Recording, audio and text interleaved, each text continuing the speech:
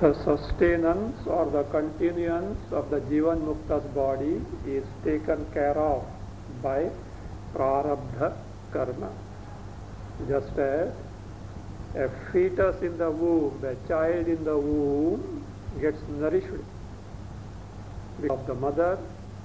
Here is the Jivan Mukta's body for whose sustenance no, no concern should be there. Take 86, stanza 86. गर्भस्थानां च बालानां निर्वाहो वपुषो यथा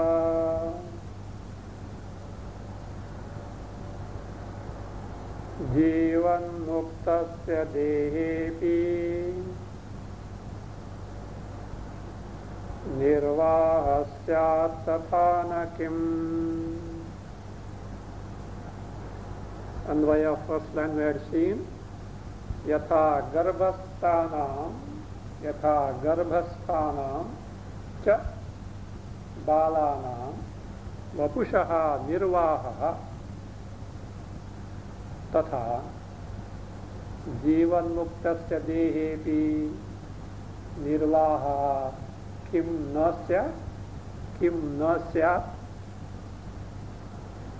illustration is like this यथा just as गर्भस्थानाम च बालाना बालानाम of children that are those children गर्भस्थानाम children who are still in the mother's womb there निर्वाह वपुष Vapu बालानाम वपुष of the body of the children that are still in the mother's womb their nirvaha, nirvaha, carrying on, subsist, subsisting on, living, the carrying on the living of the bodies of the children which are still in the mother's womb. So it takes how? Because of the mother's nourishment, that is mother's nourishment goes to the child the likewise here means illustration is it is automatically taken care of without any efforts on the part of the child. That is what is important here. So how the nourishment of the mother goes to the children etc. is not the context here. So a child doesn't do any, any, anything to get itself nourished. At least after after born it may cry to draw the attention of the children uh, to draw the attention of the mother to get the milk etc or at least because of the hunger it will cry and the mother will come to know oh, oh the time to feed is feed has come. At least that indication is there. But in the mother's womb there is no such indication also and yet without any effort on its part the child gets nourished. That is only the aspect of drishtanta. Tatha, in the same manner, jivan muktasya dehe api.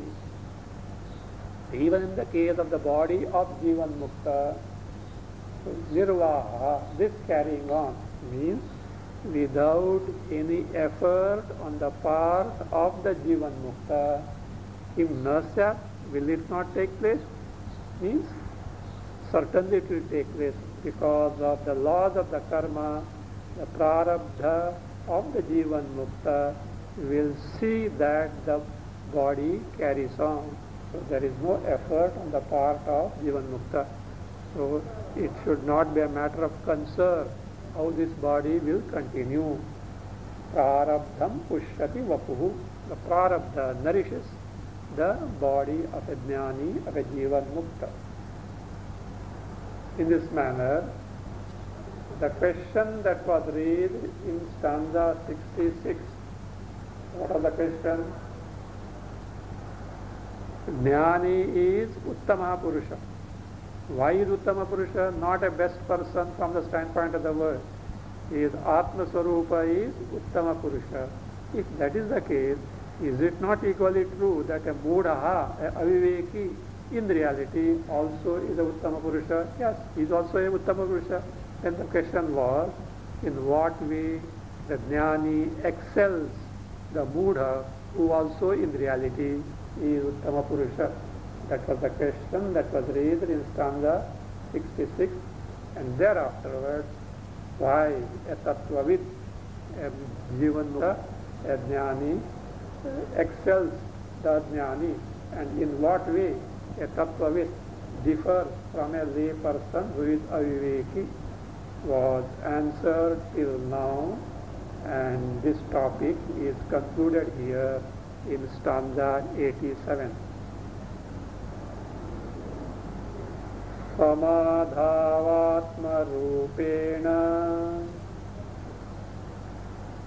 व्युत्थाने भोग्यरूपतः।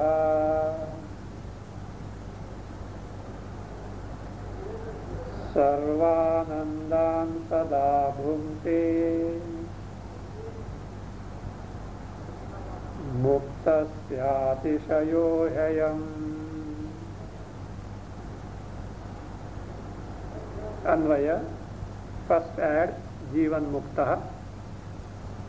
जीवन मुक्त समाधौ। आत्मरूपेण कमा व्युत्थाने भोग्यरूपतः सदा सर्वानन्दान् भुङ्क्ते। अयम ही मुक्त अतिशय। अयम ही मुक्त अतिशय। जीवन मुक्त always enjoys all the happiness. Always means what? Whether he is absorbed in the samadhi, means whether his mind is absorbed in the Atma Sarupa, impervious of the world and one's own body, or he is out of such samadhi, is out of such samadhi, what is called as vyutthana. So he is aware of the body, his body, and the world even at that time. So that is what? Always. So jivan mukta always. What is that always? Samadhau in the samadhi. Sarvanand sada, sada, sada always. सर्वानंदान भुगते all ananda he enjoys. How? Samadhau Atma Rupena. When this Jivan Mukta is absorbed in his Swarupa, which is called as Samadhi, he enjoys the Paramananda, the Brahmananda in the form of Atma Swarupa, which itself is Paramananda, Brahmananda, Atma Rupena Samadhau. whereas vyuthane bhogya rupatah vyuthane when he is out of samadhi he is on account of prarabdha he is aware of the body and the jagat bhogya rupatah in terms of enjoyment. All enjoyment are his own enjoyment. He has no consideration of the sorrow and bhogya rupatah whatever bhoga bhoga sense enjoyments are there, bhogyarupta means even in the sense enjoyment during the Vyuthana Samaya, whatever he comes across, his mind is focused on the Brahma which is the Swarupa and he is least concerned about the Vishaya. So Vyuthane Bhogyarupata Sada all the time, whether in Samadhi or not. सर्वानंदम all anandam bhunte he enjoys this is the excellence of this jnani ayam hi he means prasiddhi shastra prasiddhi विद्वत् विद्वद् अनुभव प्रसिद्धि। अयम हि मुक्तस्य अतिशयः। This is the अतिशय। अतिशय excellence on the part of a मुक्तः liberated person a जीवन मुक्त person so in this manner the ज्ञानी एंड अज्ञानी बोथ इन रियलिटी आर उत्तम पुरुषः। As seen what is Uttama Purusha, yet Jnani excels because of his discovery that he is Uttama Purusha, he is able to enjoy the Ananda Sarupa all the time and therefore it was emphasized that Ajnani also should put forth efforts and gain the knowledge of oneself. In this manner, Prajapati taught Atma Vidya, Brahma Vidya to who? Indra. Finally, Indra got the knowledge. And how did the teaching start? Akshini Purushaha. The Purusha, the Sakshi Chaitanya, abiding in the eye. Abiding in the eye, in the sense, the Sakshi Chaitanya, because of which the eyes are able to function. Now, this Sakshi, Sakshi Chaitanya or Akshini Purusha uh, pointed out with reference to eye should not be misconstrued as abiding only in the eye. In fact, same Sakshi through different sense organs, organs of action, makes those organs, indriyas, to take to their respective functions. And the same Sakshi is the one which illumines all the triputis. Triputis, the triple forms of knower, knowledge, known, seer, sight, seeing, hearer, heard, and hearing. So like this, so all the triputis are illumined by the same one and the same Sakshi. That is the Sakshi whose knowledge is thus gained by a Jnani, the same Sakshi in union with different Indriyas, Tattad Indriya Sanyukta. So in association with different indriyas. Actually, uh, Atma, Sakshi Atma cannot have association with anything because it is Asanga. Yet on account of Upadhi, it appears as though it is in association with all these. So, Tat Tat Indriya Sanyuktaha, what does it do? Tat Tat Triputi Bhasakana, as though the illuminator of all these different varieties of triputis with respect to each organ, sarvendriyeshu, in all the indriyas, apibhasate, also it shines. So one should know. That is, the Atma, Sakshi Atma, whose knowledge was gained with respect to Indriya, Indriya Chakshu, is the same uh, Sakshi Atma who in association with all different indriyas so illumines the triputis, the triple forms pertaining to all these indriyas that should be known. For this, the Shruti tells the subsequent Shruti. So it tells 8, 12, 4. Athayatra Akasham. So now, wherever this Akasha, what is this Akasha? The space conditioned by black pupil, black pupil in the eye. कृष्णतारोपलक्षितम आकाशम अथ यत्र आकाश so this space condition by black pupil and where is black pupil in the socket of the eyes in the देह छिद्र so in the देह छिद्र in the place गोलक where the eye is housed the continuing अनुविषणम means अनुशक्तम अनुगतम merged और associated Akash space which is associated with चक्षु चक्षु सो दैट चक्षु चक्षु द सह प्रकृत, अशरीर, आत्मा सो दैट इज़ द सह so is with so that प्रकृत means the present one under discussion. Asharira Atma, the Atma who has no embodiment, free from embodiment. Chakshushaha Purushaha. Chakshushaha Purushaha, the Purusha abiding in uh, Yatra Akasham. So this Akasha, uh, space, actually this space, of course, in the space associated with black people, but that Akasha refers to Atma Chaitanya, Sakshi Chaitanya, because in Vedanta, at places the word Akasha is used for so, uh, Chaitanya, Atma, Brahma also. So, Sa, that is the Asharira Atma, Chakshusha Purusha, Chaksha Purusha, the Purusha, Sakshi Atma, abiding in the eye.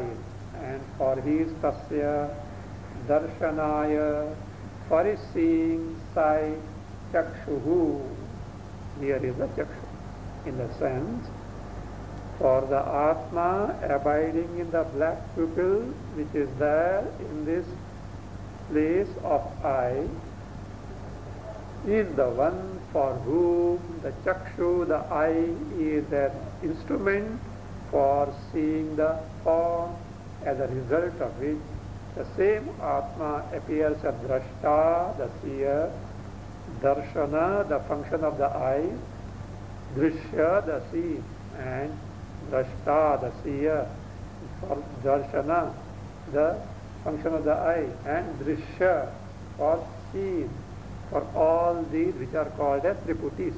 Triputis means trayanam, putanam, samahara.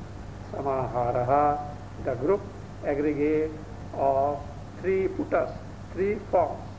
So that this way drashta, darshana, drishya of these triputis so he is what? So he is the avabhasaka. He is the illuminator, one who makes us know drashta, the seer, darshana, the functioning of the eye, drishya, the seeing.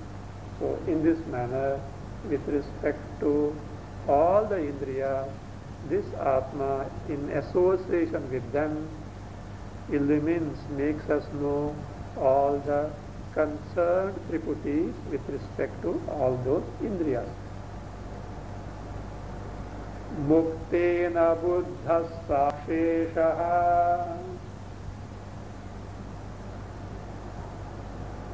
सर्वाक्षेषु विभाव्यताम्।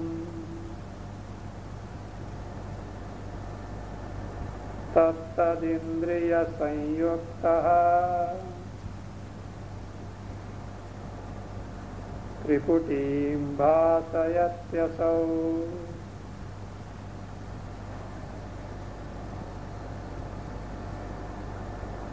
मुक्तेन बुद्ध साक्षी। एषः और एषः साक्षी। सर्वाक्षेषु विभाव्यताम्। असौ तत्तदिंद्रिय संयुक्त त्रिपुटी भासयति। त्रिपुटी भाषयति मुक्तेन बुद्ध एष साक्षी। This Sakshi? विच साक्षी? मुक्तेन बुद्धः। बुद्धः नोन बाय हु मुक्त मीन जीवन मुक्त this Sakshi whose knowledge this जीवन मुक्त has got of course the teaching was with respect to the चक्षु। So now it is generalized. It is not only confined to I, but one who illumines all the Indriyas and the Triputis. Sarvaksheshu, it is in all the Indriyas, Vibhavyatam, Vibhavatyam in the sense Vibhati, Vibhati means manifest, shines or becomes visible. So manifest is correct one. The same साक्षी आत्मा manifest in all other इंद्रिया असौ असौ में जिस साक्षी तत्त इंद्रिय संयुक्त। संयुक्त बीइंग इन एसोसिएशन विथ तत्त इंद्रिय मीन डिफरेंट इंद्रिय same Sakshi being in association with different इंद्रिया तत्त इंद्रिया रेफर्स टू डिफरेंट इंद्रिया What does it do? Triputim bhasayati illumines, makes known the triputi, the triple form like drashta, darshana, drishya. Of course, afterward, the author himself is going to describe the triputi. Triputi bhasayati.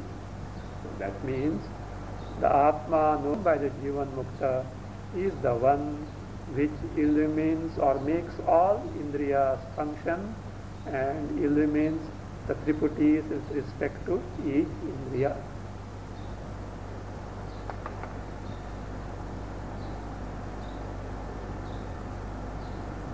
भासमाने साक्षितत्वे तद्भासा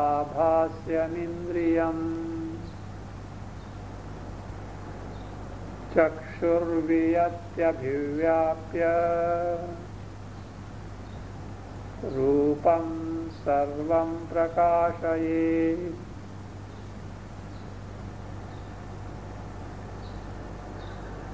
साक्षितत्वे भासमाने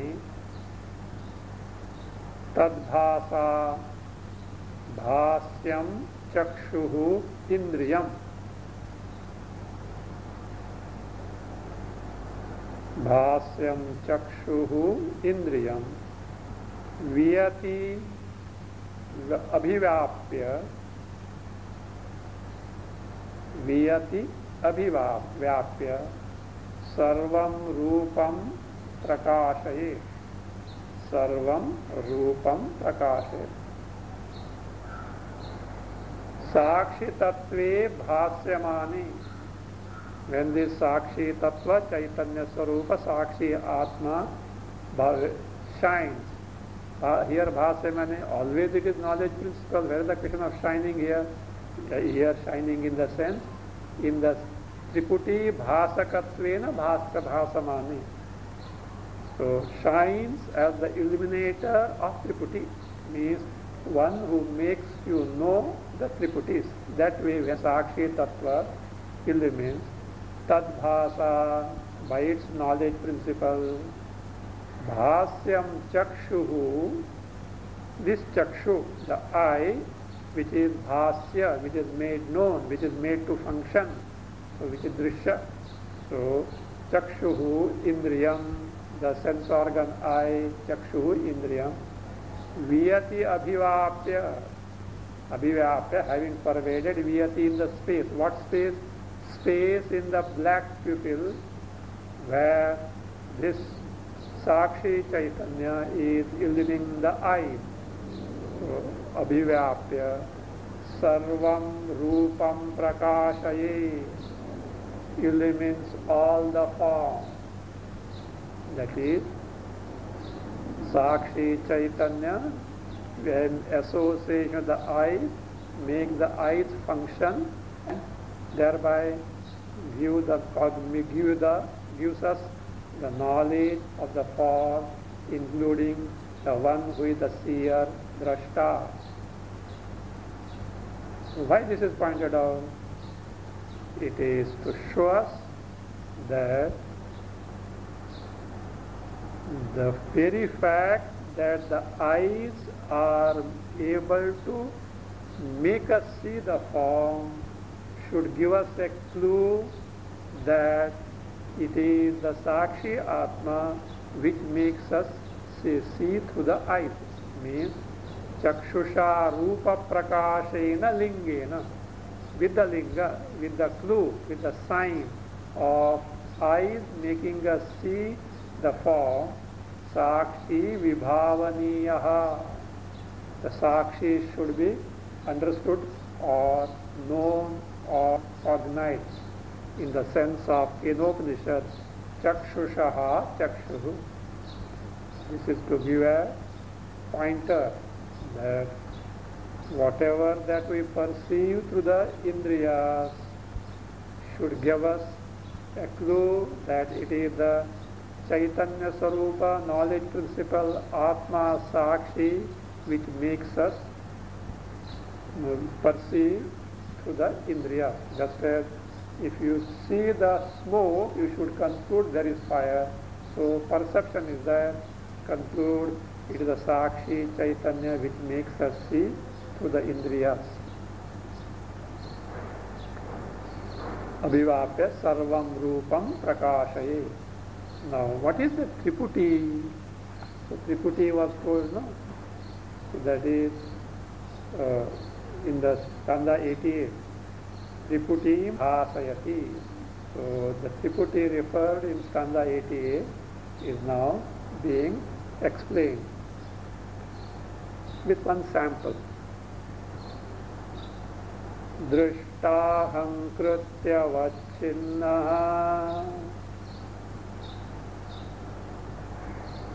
दर्शनं चक्षुषः क्रिया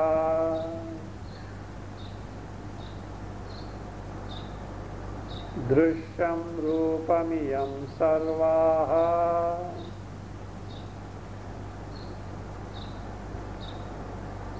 त्रिपुटी भाति साक्षिणा।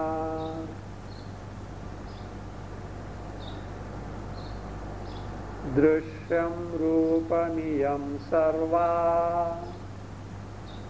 Not सर्वाः सर्वा। दृश्यं सर्वा त्रिपुटी भाति साक्षिणा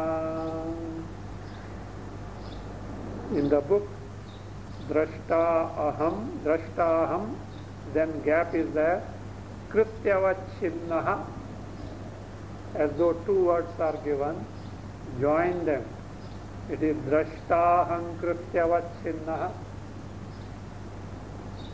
भ्रष्टा अहंकृति अवच्छिन्न।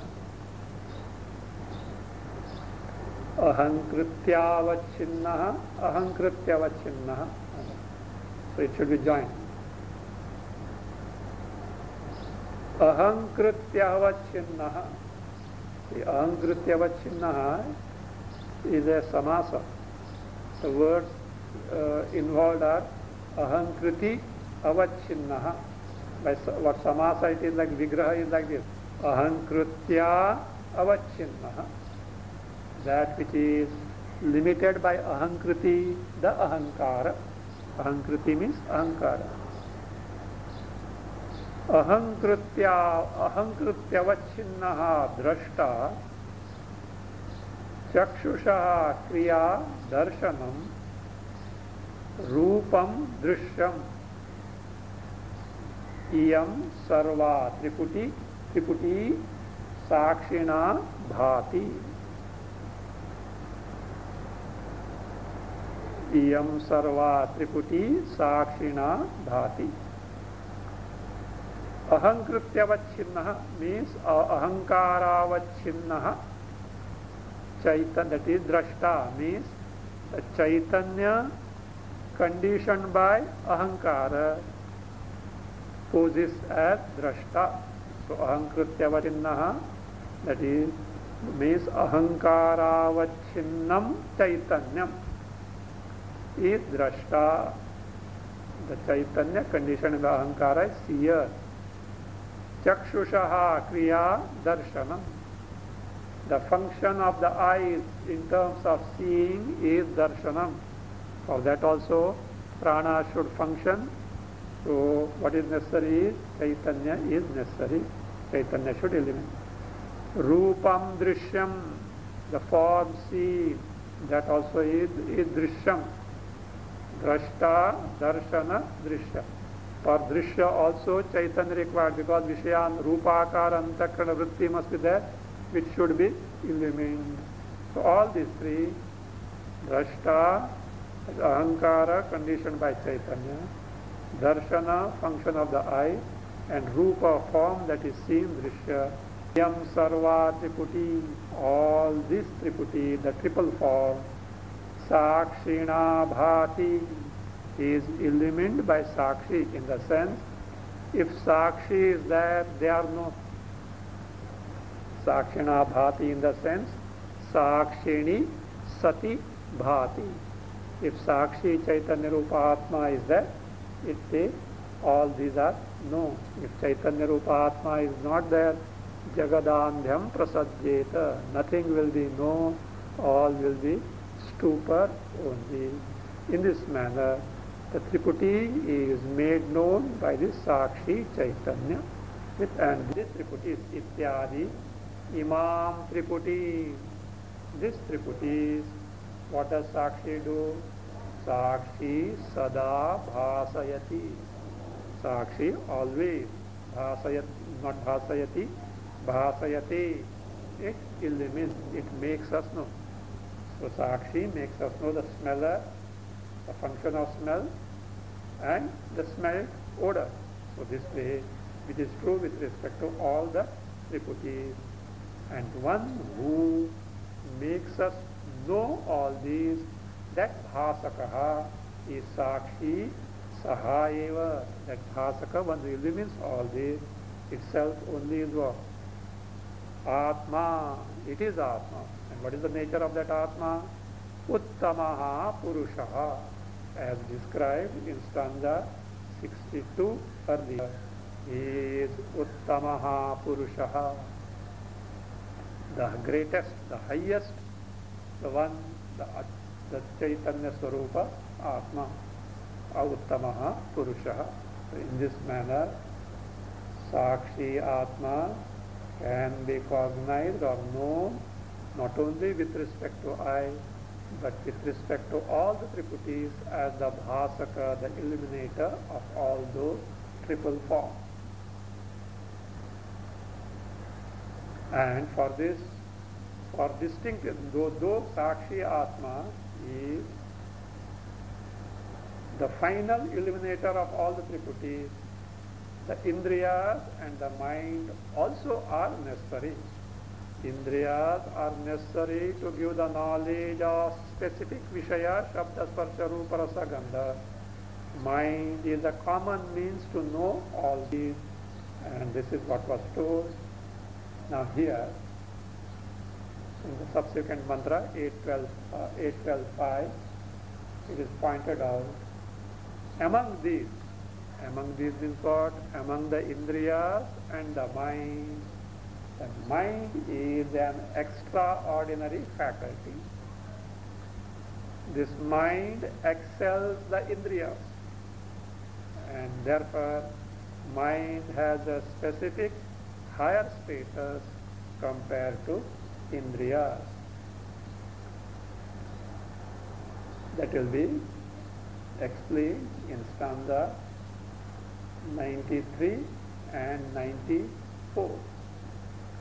So with respect to that, so in the case of Jnani, how his mind is identical with Ishvara's, and that is Ishvara's mind, and he is able to enjoy all the bhogas that are there even in Brahmaloka. Again, it is Arthavada to point out that Ananda, Paramananda is at the command of this Jnani. This will be pointed out.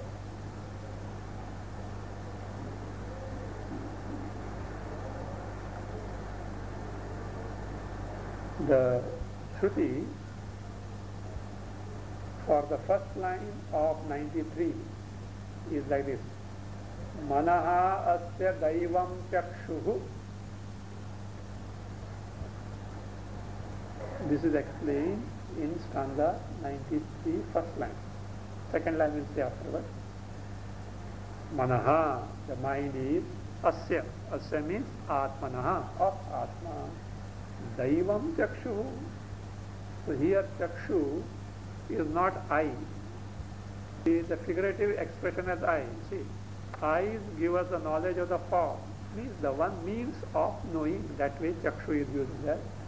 See, this, this mind is Atma, the, uh, of Atma. Daivam Chakshu. What is Daiva here? Daivam means here not divine as such, extraordinary. Aprakritam means something unique in contrast with rest of the indriyas. So this is extraordinary.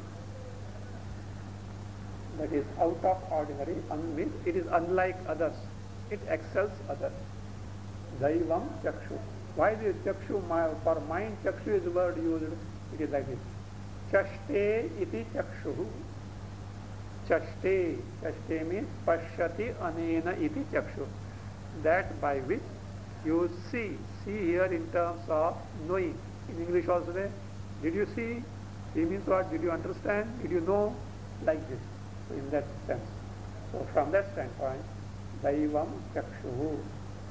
That is explained in the first line of 93. In the sense, see, why it is superior?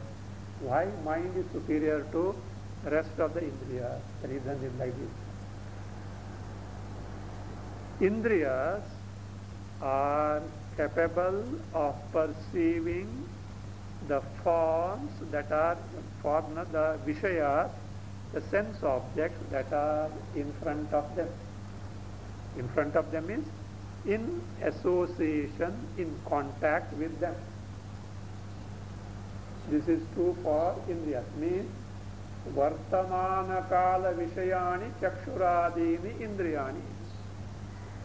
Indriyas are true in terms of their functioning with respect to the specific object means the presence of object must be there for the indriyas to function. Therefore, they are not daivani, adaivani, means they are not spatial. Whereas mind is such thing, so what is that? It, you are able to cognize at all periods of time whether my Vishayas are there in front of you or in contact with you or not, mind is able to know, it can recall also, it can think of Vishayas also. So that is what Manastu, in contrast with the Indriya, my mind is what? Trikala Vishayopalabdhi Karanam. It is the Upalabdhi Karana, it is the instrument of cognition at all the time, whether sense of are present or not, therefore it is adaivam. Again, indriyas are meant for specific purpose of seeing, hearing, tasting, etc. In the sense, eyes can see but can't hear, ears can hear but can't taste. Like that, so it is the function is divided. Where in the case of Indriya.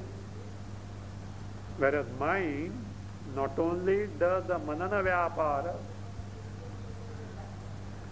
not only does the manana vyapara mean, not only it is a common means of cognition with all the sense perception, but also it is a karana, sadharana karana as the common means for all the function because without the mind nothing can function. Even what happens? To gain the knowledge, mind is necessary. In the Vishuddha, that, is, mind is meant for sarvyapara and it is a common instrument for gaining for all the functions. And also in Vishuddha Manas, Vishuddha Manas, in the very pure mind, what happens? Even the Sarveshwaraha, the Parameshwara gets manifest, gets manifest.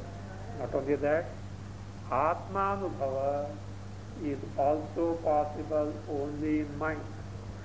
मनसा एव इदमाप्तव्य। मनसा यतो वाचो न निवर्तन्ते अप्राप्य मनसा सह। आत्मा साक्षी दवन from whom mind and speech retire without being able to objectify that is true in the sense of objectifying साक्षी आत्मा बट टू नो आत्मा the mind has to assume the Atma Swarupa Atmakara, free from all the Drishya Vishayas and all free from all the Drishya Vishayas and Vishayabhasa. So that being the case, so to gain the knowledge, Mana mind is necessary, pure mind is necessary, which assumes the form of Atma, so which becomes Atma Akara, and from that standpoint, for Atma Anubhava, Mana is necessary, mind only can do that. In this manner, see. So mind is necessary for all the vyapara, whereas Indriya are only for specific, and that is the reason why mind is called as Daivam Chakshuhu. Daivam Chakshuhu. This is explained in the first line. And in the second line, same Shruti continue सवै एष।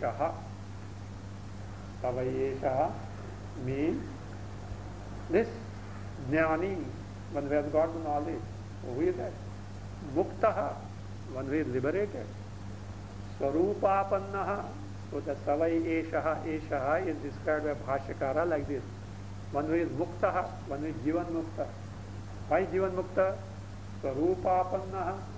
discovered his Swarupa. So, and thereby he is disassociated with all upadhis.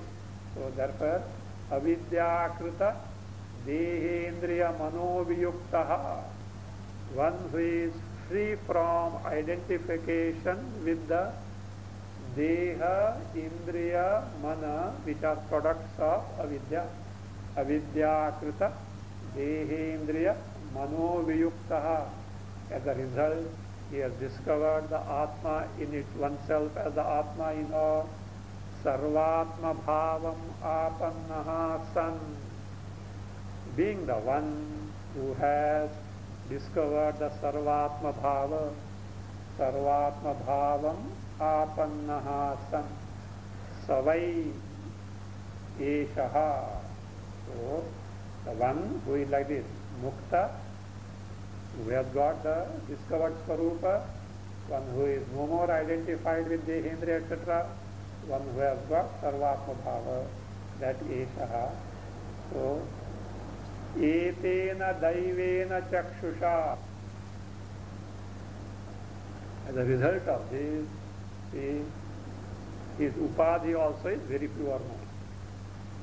Vyomavad Vishuddha सर्वेश्वर मनोपाधि because सर्वात्म भाव is discovered is उपाधि is no more the bestie उपाधि the one is own अंतकरण is discovered the identity with Ishwar now this Esha this मुक्त is what now व्योमवाद Vishuddha pure like विशुद्ध pure like Vyom Akash and is उपाधि is identical with ईश्वर उपाधि Sarveshwara Mano Upadhi San is at physical he is identified with Virat, at subtle level he is identified with the Hiranyagarbha, at causal level identified with the Ishvara. So therefore in this manner, etena daina chakshusha manasa. By this manas, which daivena manasa, not ordinary mind, extraordinary mind, and that mind which is identified with Ishvara's mind, Ishvarena Manasa. So with that means in being identi- being in identity with Parameshwara, Jiva Brahma has already been discovered. Jiva Brahma Aikya. Jiva Brahma Aikya has already been discovered. As a result, do you know what happens? Etan kaman pashyan ramate. He rejoices, enjoying all these kamas.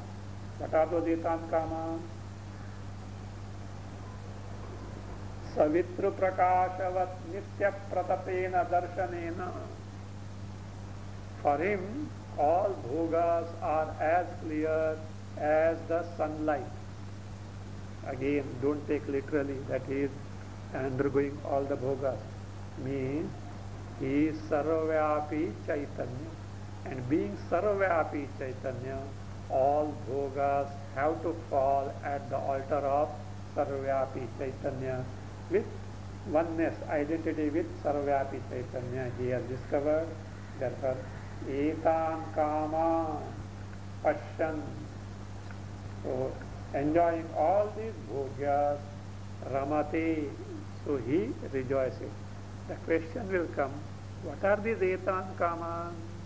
So these bhogas, desired objects, so the question is kan kama, so that they are specified now in the Shruti. Ya ete brahmani loke. Ya ete means ye ete brahmani loke. 8, 12, 5 all these bhogas that are available in the Brahmaloka being identified with Parameshwara as Sarvavyapi Chaitanya, he rejoices. This portion is explained in second line. In short, in this stanza 93,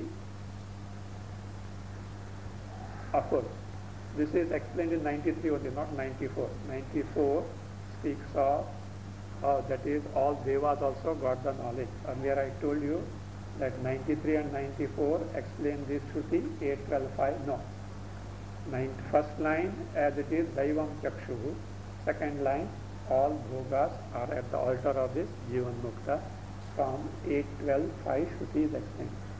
Take the Shruti uh, mantra this stanza. मनोस्य दैवं चक्षुस्या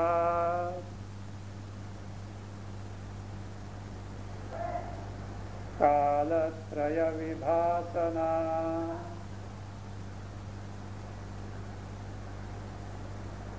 तेन भुङ्क्ते ब्रह्मलोक। स्थितान् कामान् निजात्मनि।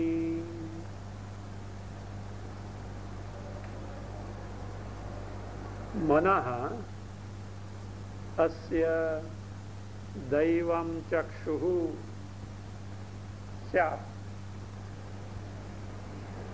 कालत्रय विभासना तेन ब्रह्मलोकस्थिता काम निजात्म भुंक्ति मन mind अस्य। अस्य means आत्मन ऑफ़ दिस आत्मा। दैवक्षु सी सैट मीन्स ईज भवती। दैव चक्षु। Daivam. Chakshu is what? Extraordinary sense. Extraordinary eye means extraordinary means of cognition. Unlike Indriyas, unlike other Indriyas. Yeah. Why so? Because Kalatraya Vibhasana.